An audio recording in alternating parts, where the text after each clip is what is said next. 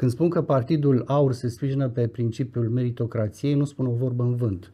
Meritocrația înseamnă să-ți ocupi în ierarhia partidului locul cuvenit ție pe seama trei trăsături. Predispoziția, adică înzestrarea genetică pe care o primești, apoi caracterul, adică tenacitatea cu care cauți să-ți cultivi înzestrarea și, în fine, devoțiunea față de o cauză. Cauza aceea, pentru noi, Partidul Aur, înseamnă neamul și credința în Dumnezeu.